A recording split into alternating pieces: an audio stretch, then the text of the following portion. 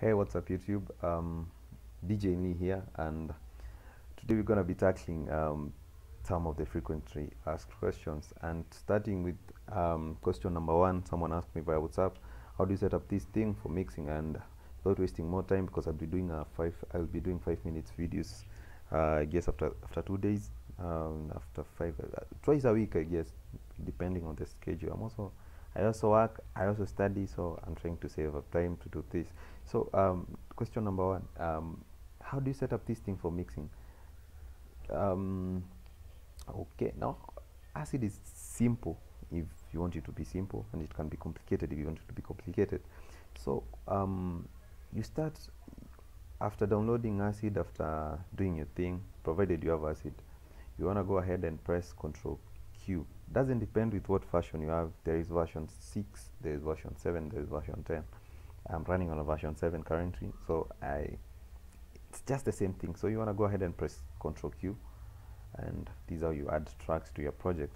So it's as simple as that. The next thing you want to do is um, add uh, effects to your to your project. Not really effects, but effects. Yeah, uh, I recommend leaving track one, two, three untouched and uh, start adding effects from track 4 so you want to go ahead and press the plus sign on on the track. Um, that one there. Press the green one here uh, and the first effect will be flange stroke wah and go ahead and add this one there. Under presets just set this to wah one. Um, go to track 5 the same thing. You want to do this? Okay under this you want to add you want to make it to you want to preset it to wah 4 leave leave everything here as it is. And okay. Then go to track. Now this um, under track 6 you can even do track 7 and 8 and 10 so there's there's there's nothing hindering you from doing. So under track 6 um, actually you can you, you can you can make a very basic mix using the first um, the first five uh, what do we call them? The first five tracks like I've said them but again you want to add a, a, reverb you want to add a, a, delay you want to add anything you want but the moment you want to go ahead and add a reverb there is a project I did that's why I'm using these settings and after this I want to show you how these things work. So yeah allow me to, to, to, to just use these settings today and yeah. So uh, why that reverb it's here? And press ok under presets. This one here i won't recommend any of them.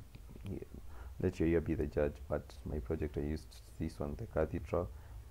Uh, it sounds nice so yeah this basically it this is how you set up your acid. The bpm the, the, these if you don't know how to set set up your bpm i made a tutorial earlier uh, addressing this. And again you want to double click on your volume to make sure that they are at 0 0 0.0 decibels. So okay now these these are just set up your acid and you're good to go. How you bpm how you come up with your playlist um, how you bpm I, I, I sort start out a while back. How you come how you come up with your playlist all depends. This is a person to person issue.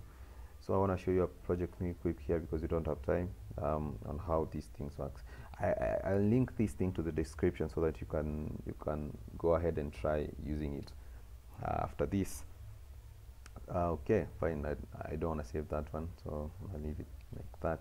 So there is this project that I made here that I used all those effects and whoa let us take it it. Take it take it these are um, a reverb works the cathedral thing that I added. Uh, you can listen to it. It's, it's an echo. Okay mm, hope I hope time allows me. Now this is the this is wah 4 this is wah 4 okay this is wah this is wah 1 okay if we go ahead and play this you can we have a few seconds. Okay now it's